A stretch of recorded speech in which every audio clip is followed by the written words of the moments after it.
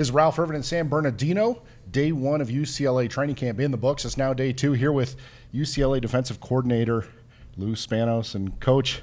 First off, how was uh, day one for you? Oh, it was exciting. Um, we had a lot of positive energy on the field. The guys were uh, flying around and they enjoyed it. And I know one thing those guys came off the field exhausted. Oh, yeah, it was great. Um, we put in a good practice in. Um, they worked. They worked hard. Uh, they got their liquids in, and uh, we had meetings afterwards. So this is what camp's all about: hard work and learning. Well, let's go back to spring camp real quick, where mm-hmm. you were obviously coaching, but you were also kind of evaluating all the cards that you were dealt. I mean, seeing exactly what type of players you had available and moving forward with this uh, defense. Oh yeah, uh, springtime was great. Uh, we finally, us as a staff, um, got one-on-one uh, coaching and interacting with the players, and uh, understand our system. Mm-hmm. And um, the guys bought in, and uh, throughout the whole spring, uh, they were getting better and better and better. And um, we had some carryover from the first practice. I know that you may come across, any coach can come across in one way in meetings when you're dealing with players and talking with them. But then when you get to the field, it's a different thing. And I'm sure people got to see the different side of Lou Spanos out there on the field, which can get pretty excitable. Oh, I don't know about that. I'm, I'm just uh, very fortunate and blessed to uh, be part of UCLA. And um, I'm passionate what, uh, what I do. And um, I'm very happy to be here. And I know the time that you spend in the NFL, one thing in working in that industry is you have to be honest with the players so that they can give you everything that they've got. Yes. And feedback from the players I got is that they love the, the honesty that you'll tell them is, hey, you're not having a good day, step it up. Oh, um, we're here to do a, uh, a job, uh, get these student athletes ready, uh, play on Saturday. So um, they're, they're working great. They're great kids. They really are. Now back to camp here in San Bernardino.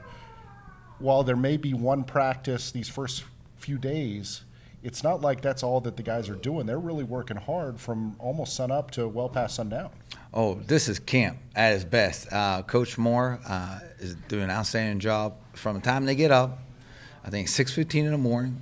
By time curfew, then kids don't have any time. Uh, it, it's it's fun. Uh, they're enjoying it. They're smiling. Um, uh, it's good. It's great. It's great. And I know that you know again one thing with the conditioning and, and everything that they're doing leading up to practice and then after practice, boy, it's going to make it tough. But game days are tough, and, and, and that's really what it's about is so that they can learn how to push through and focus when, when the times are the toughest. Yeah, that's the bottom line in this business, is what we're going to do on Saturday. And uh, we as a staff are, uh, are preparing uh, the, the, the, young men to uh, what we're going to get in store on Saturday with, uh, with uh, all four cores and, and the whole experience. So this is ideal situations that we're all focused and going to apply what we learned during this training camp onto the playing field. And last thing I wanted to ask is just a general question. All the time that you spent in the NFL, how do you like working in the college environment and all that all that surrounds it? Because it is a change, but I, mm-hmm. I imagine that there are some things that you could really enjoy. Oh, I love it, love it. Uh, the kids are great. Uh, they're hungry, they want to learn, and they want to get better and that's uh, that's all we ask as a coaching, as being a coach, is uh, kids that want to get better, and uh, we're enjoying it, and uh, we're looking forward for this upcoming season. All right, coach. Well, thanks for the time, and we'll see you out on the practice field again.